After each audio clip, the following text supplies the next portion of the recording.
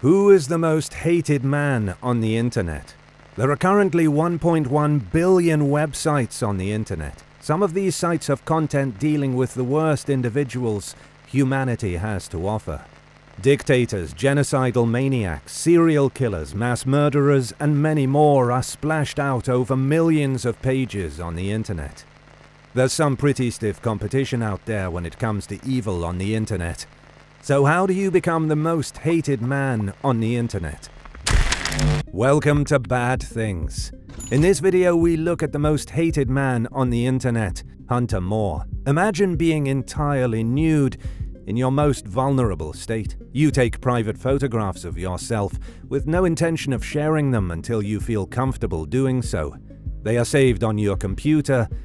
Only you have access to them until an outsider breaches your computer's security.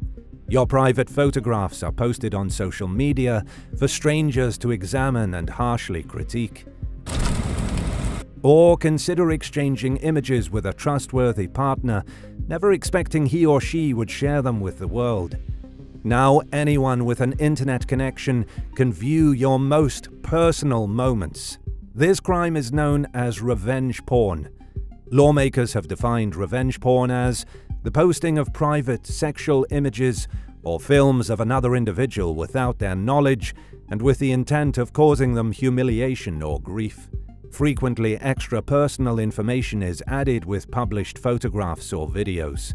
This combination might make a person feel insecure and may put them in danger. At the very least, it causes psychological harm to the victim. Hunter Moore is known as one of the pioneers of this seedy part of the internet. Moore's renowned website, titled Is Anyone Up, which he launched in 2012, established a new, lower threshold for this crime. Moore participated in the practice of revenge porn, often known as active solicitation of compromising images from spurned partners, over a period of 16 months. Not only did he expose humiliating images, but he also dealt a second devastating blow when he connected the subject's names, addresses, places of work, and social media profiles to the photos. It was performed with such ruthless precision that the aim of inflicting the victim's considerable distress was achieved. Moore said that the concept for the website originated from a woman whom he had repeatedly requested to send him provocative images. After that, he set up a site on which anybody could post naked images. This blog would later become known as isanyoneup.com. Moore made money off of the website by linking pornographic advertisements and selling merchandise. For November 2011, the website generated $13,000 in income, at server costs of $8,000, and more than 30 million people viewed the website's pages. Moore said that he managed the website for 19 hours a day, five days a week, and that he had a staff of six people working for him, including two experts in age verification, in order to verify that everyone shown was at least 18 years old. Sam Boyd, another partner, was also responsible for screening and filtering inquiries during this period. During the website's 16 month existence, some of the victims included an American Idol finalist, the daughter of a major GOP donor, the co founder of Dream Water, the bassist for Passion Pit, Kreayshawn, one real housewife, various real housewives, mothers, school teachers, midgets, and a woman in a wheelchair, among many others, at the rate of 15 to 30 posts per day. The BBC took notice and dubbed Moore the net's most hated man. Facebook permanently banned him. PayPal banned him. Anonymous attempted to hack his computer. A woman stabbed Moore in the shoulder with a ballpoint pen when her nudes were posted on a website, and her father failed to be sufficiently intimidating when they visited him at his home. Death threats were made against him. He developed a monthly pattern of changing his phone number. Fearing he might be killed in his sleep, he temporarily moved in with his grandmother. Moore's website went from supplying titillating information to functioning as a full fledged campaign to destroy people's lives very rapidly. Moore hid behind Section 230 of the Communications Decency Act of 1996 when he was questioned about the legality of his site. This provision provides legal protection to service providers and users of interactive computer services that publish information provided by third parties. To put it another way, Moore said that he was innocent since the information that he published was not created by him but rather by a revengeful user. When he engaged hackers to secretly acquire images, as he did in the instance of Kayla Laws, he crossed the line that separated him from being on sound legal footing. Charlotte Laws, the mother of Kayla, a courageous woman with a PhD in social ethics, two master's degrees and two bachelor's degrees, and has written several books and articles, had more in her crosshairs. Witnessing her daughter being shunned by colleagues and management at her restaurant job because of the topless photo displayed on Is Anyone Up, she decided to take on Moore. Laws was angered by the opposition she experienced while trying to get her daughter's photos off the site. She called Moore and asked that he remove the image of her daughter from his website. Moore obstinately refused.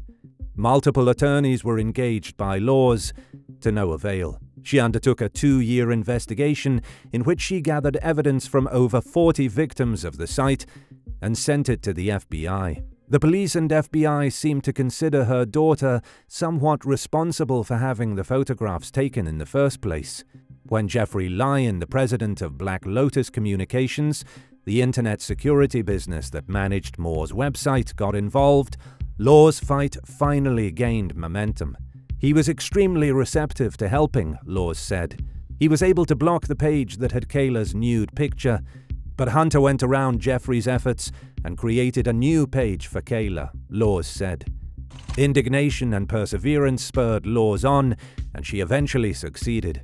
In 2012, she provided the FBI with a dossier containing information on the other women victims with whom she had communicated, and they searched Moore's parents' house in Sacramento, California. Is Anyone Awake was shut down and sold to an anti-bullying organization in April 2012. James McGibney, a former Marine, persuaded Moore to sell him the site. McGibney later redirected isanyoneup.com to bullyville.com, his anti-bullying website. McGibney sent this message to Moore.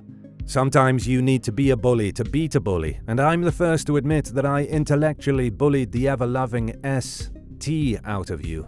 Your main stated goal was to ruin young girls' lives, even after they indicated that they were going to commit suicide if their unauthorized naked images weren't removed from your website. You laughed in their faces. Are you still laughing now? You tried to destroy their lives, but instead I intellectually destroyed yours. You received a masterclass in the fine art of social engineering. Moore and Charles Evans, who went by the alias Gary Jones, who was recruited by Moore to hack into Kayla Moore's phone, were indicted in a federal court in Los Angeles, California on January 23, 2014, following their arrest by the FBI on charges of conspiracy, unauthorized access to a protected computer, and aggravated identity theft. Moore entered a guilty plea to the felony charge of aggravated identity theft and to the misdemeanor charge of aiding and abetting in the unauthorized use of a computer as part of a plea deal in February of 2015. In December of 2015, he was found guilty and sentenced to two years and six months in federal prison and a fine of $2,000 and restitution for $145.70. This punishment seems like a slap on the wrist, when one considers the destruction he caused. Moore was reportedly released from prison on September 22, 2017, as shown by the inmate locator maintained by the Federal Bureau of Prisons. Hunter Moore was named the most hated man on the internet. He often made AIDS related jokes on Twitter, produced educational movies on YouTube, such as How to Have Sex with a Cripple, and proudly boasts to have been stabbed in the shoulder by one of his revenge porn victims. In a weird turn of events, Moore was also one of the internet's most adored characters. His popularity was so widespread that his more than 8,000 followers have began using the hashtag hashtag the family to remain in touch with him. The patrilineage is evident in hashtag the family. Moore's followers are his children, and Moore, the partially employed 27 year old DJ, is hashtag the father. The notoriety of Hunter Moore is about to be blown up again in the form of a Netflix documentary. Thankfully, the documentary focuses on the victims of his site and not on him. Thank you for watching Bad Things. Hit the subscribe button, like button, and notification bell, and share our channel for our up and coming true crime videos.